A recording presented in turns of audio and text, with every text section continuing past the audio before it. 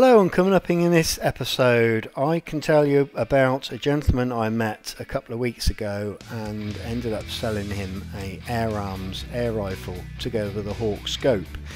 He was going uh, back into shooting as he was now an allotment owner and was going to try and sort out the rabbits, pigeons, the crows, and just about everything else that is a gardener's nightmare. And when I asked him what his plans were to shoot the rabbits at night, uh, his answer was he was going to use a torch. Well, I was approached this week by a company who might have just the ticket for him for his nighttime rabbit shooting on a budget.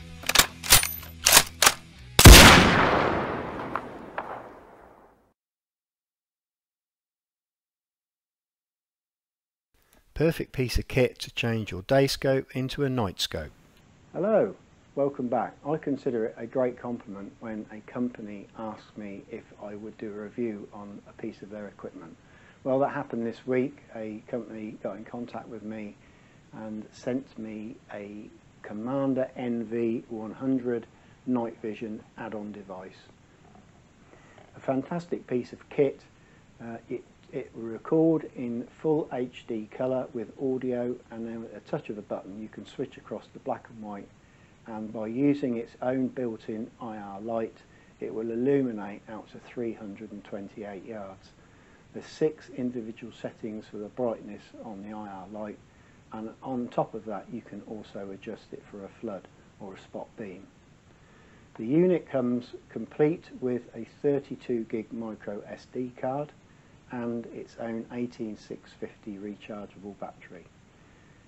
The recorder is uh, rugged and it is being tested up to and including a 308 rifle so quite strong quite sturdy and it's not just for air rifles although I will be fitting this to Munch's air rifle for the simple reason that his scope um, obviously doesn't get messed around and moved around like the rest of my scopes do and I can put it on there use it for some squirrels and some rats to do some daytime footage and some nighttime footage. So let's go through what you actually get in the box. So as I said, they, they sent me out this um, item this week. Uh, in the box there's a, a, lens cleaning cloth, a pair of Allen keys, a spare O-ring and a spare screw um, for the lock-in ring, the attachment that fits onto the scope. Now because they didn't know what size scope I was going to fit this to, they've actually sent me out three of these scope attachments. This one being the 48mm, there's a 45mm and a 42mm. I fitted the 42mm to the BSA scope which is fitted on the rifle behind me. There's an extended eyepiece which comes in the in the scope in the kit as well. Obviously, as I said, this this will withstand the recoil of a 308 rifle. There's a 70 millimeter eye relief on this already, so that extra eyepiece just gives you a little bit more of a shield from the brightness from the screen. Charging cable for the, for the battery in there is also included.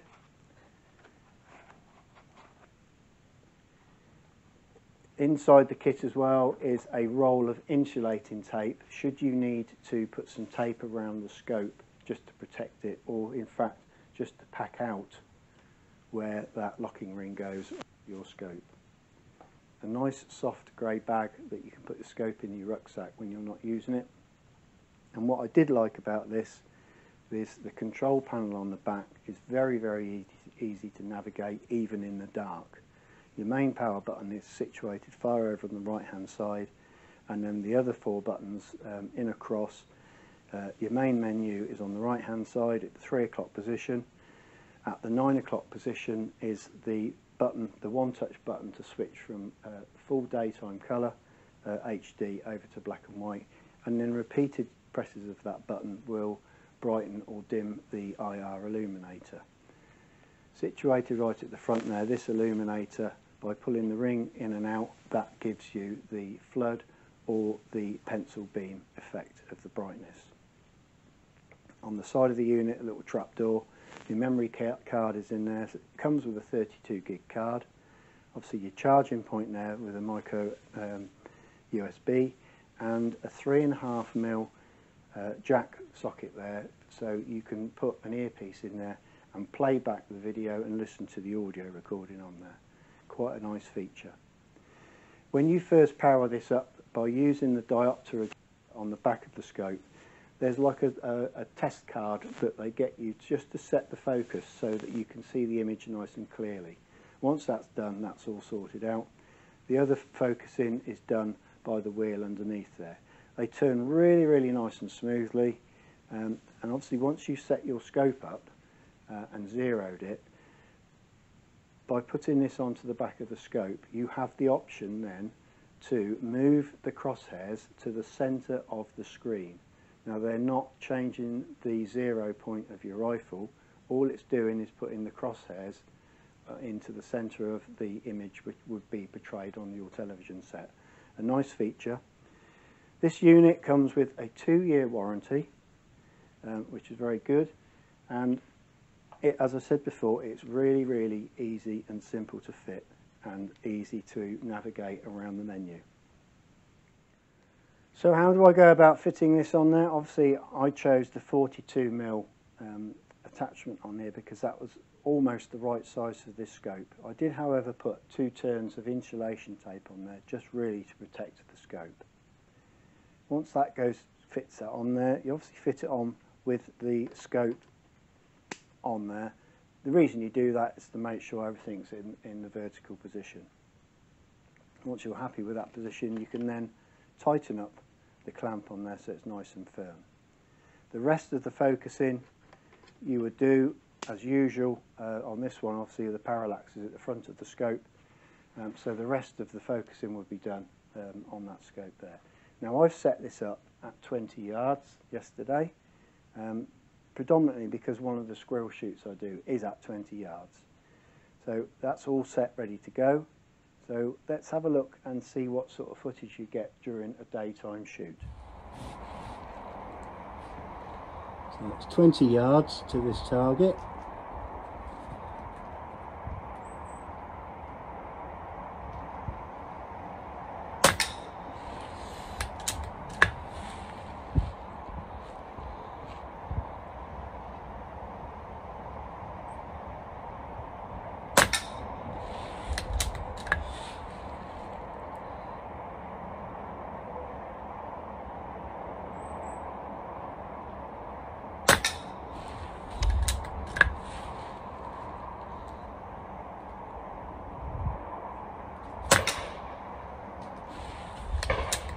Flyer there, about five mil off to the right.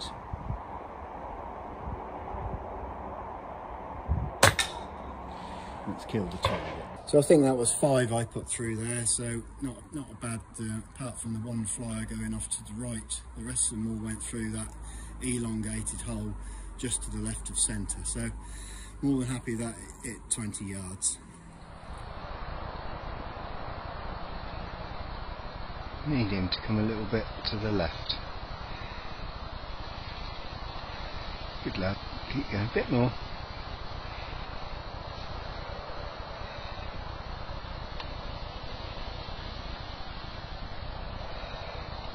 Now come towards me, come get some nuts.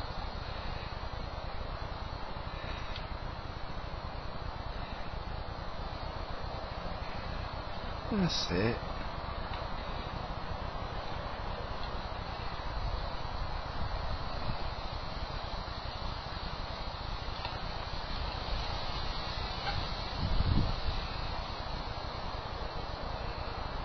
Just gets a little bit closer and then he sees me in the tent and you can see his reaction.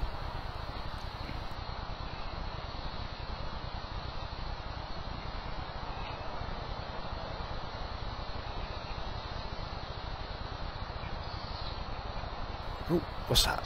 Too late. I think that just about sorted him out.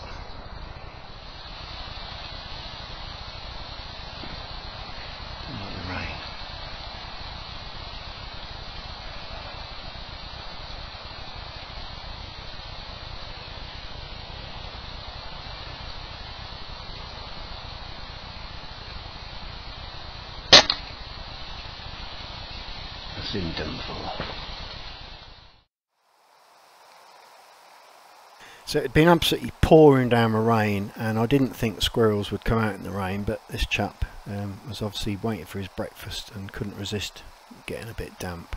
He should have perhaps stayed indoors.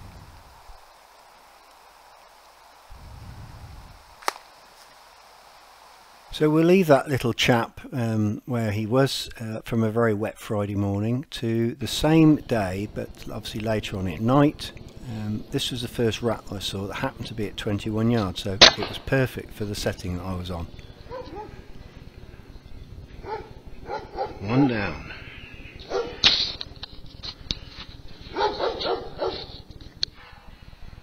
So the, I was trying to get all of these rats at the same sort of range to make it um, easier and, and a, a better shot. So this is a, a, a level, uh, entry level scope, so hence the lolly stick size crosshairs on there. Um, I've got this now on my Element Titan to give it a try, so I think we're only going to get better pictures now. So the farmer doesn't like these um, crapping in all his cattle feed, so we'll get rid of those when we can get a chance.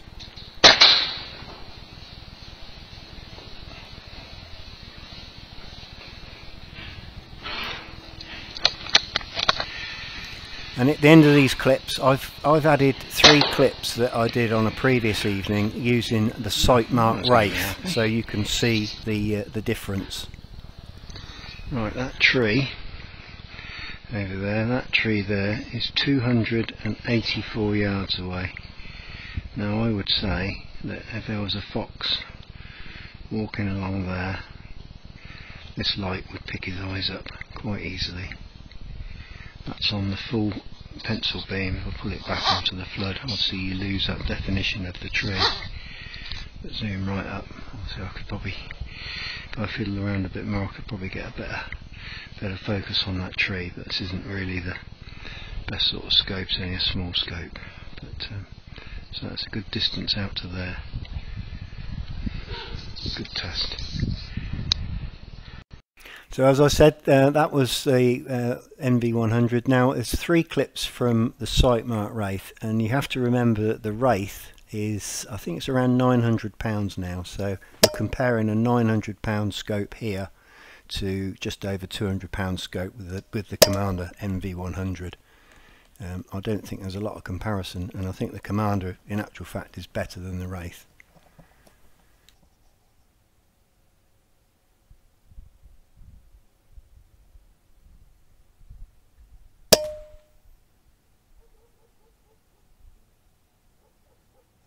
Hello and welcome back. Well, once again, the British weather has got the better of me. Today is October the 31st, it's Halloween, and it's absolutely pouring down rain outside.